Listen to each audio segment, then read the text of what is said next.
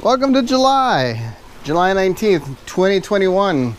Got some things we're doing in here. I hope that's not a cabbage butterfly, as they call them. Uh, we don't need any little caterpillars. Anyways, ripped out the parsley here. Big old nasty root system on there. Well, it's not nasty. It's healthy and good.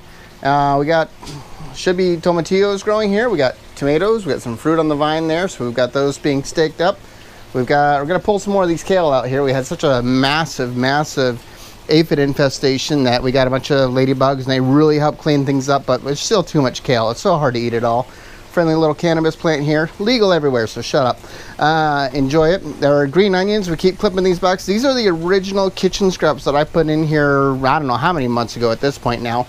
The lemon balm, if you saw my video from June, I had this snipped back to like nothing and it's completely fully rebounded already. So we're just gonna have to keep bringing it back again and again and again.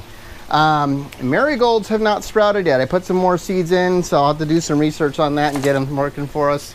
Got a bee in here, that's not a bad thing.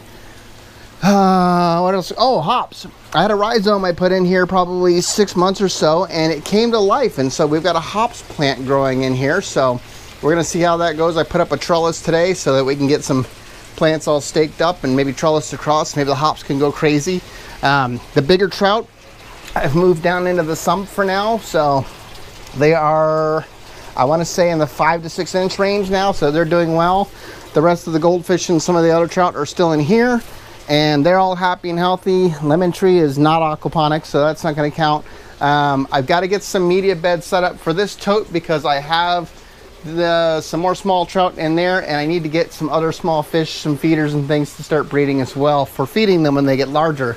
So I think that's all I've got for July 2021. So thanks for checking things out. Uh, like, subscribe, all that fun stuff. That's all, folks. I'll see you later. Ciao.